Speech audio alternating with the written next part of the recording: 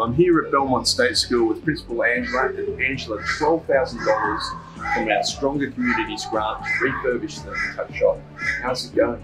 Absolutely fabulous. So thank you very much for giving money to Belmont State School.